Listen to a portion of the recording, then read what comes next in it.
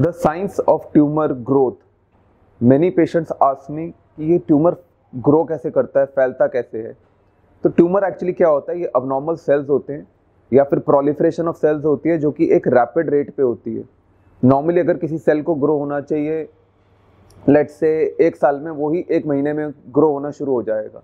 और जब ये सेल अबनॉर्मल हो जाता है रैपिडली प्रोलिफरेट करने लग जाता है, फिर ये गांठे या ट्यूमर बनाता है बॉडी में। And then these cells start proliferating फिर ये सराउंडिंग स्ट्रक्चर्स को पुश करते हैं और ग्रेजुअली जो है ये हमारे सराउंडिंग स्ट्रक्चर्स के कनेक्टिव टिश्यूज को इन्वॉल्व करते हैं and then they involve the blood vessels and the lymphatics of the body and it start spreading and when it start spreading then we call it as metastasis or the tumor which is malignant or which can spread to the other parts of the body.